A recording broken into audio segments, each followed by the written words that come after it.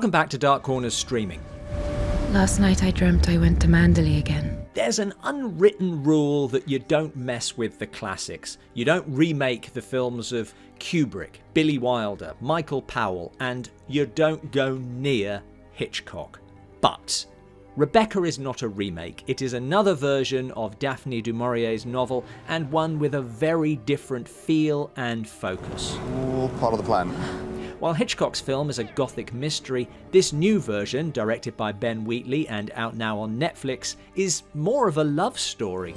Come with me What? to Manderley. Albeit one taking place in the shadow of a potentially devastating secret. That said, I don't want this to be a comparison between Rebecca's, I'm just reviewing the film in front of me. I don't believe in ghosts. At first, this seems like a thoroughly atypical film for the director of Sightseers and A Field in England, particularly the idyllic early scenes, bathed in gold.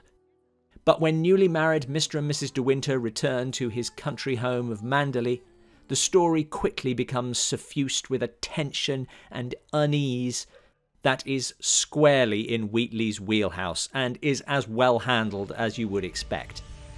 Here, the colour has drained from the film, stranding Lily James, Mrs. De Winter, in the cold emptiness of the house, constantly reminded of her predecessor, the late Rebecca De Winter, whose name is everywhere she looks, and whose presence is represented physically by housekeeper Mrs. Danvers.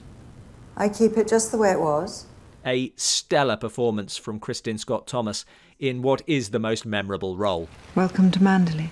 The film looks great. It builds the tension and the threat very effectively. It's your word against Rebecca's. And no other story does the ghosts of past relationships better than Du Maurier's, taking something that we're all probably familiar with to some degree and making it into a source of menace.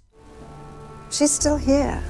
The cast is great, although, and I know I said I wouldn't do this, I did feel that Armie Hammer lacked the bruised intensity of Laurence Olivier. I don't want to hear another word about Danvers. The film does occasionally succumb to the indulgences of period drama, but that's what it is, and I do hope that it finds that audience on Netflix because it's not what you might expect from Wheatley, and people might be afraid that he's gone in and torn up the genre, and he hasn't. It's less stately than, say, Merchant Ivory, and with more handheld camera, but I'd still call it quite a classical piece of filmmaking, and it's great to see such an idiosyncratic director adding another string to his bow. She. she gone into the sea, ain't she? I don't think it's faultless. It never quite swept me up the way that a great film can, and the momentum did stall for me.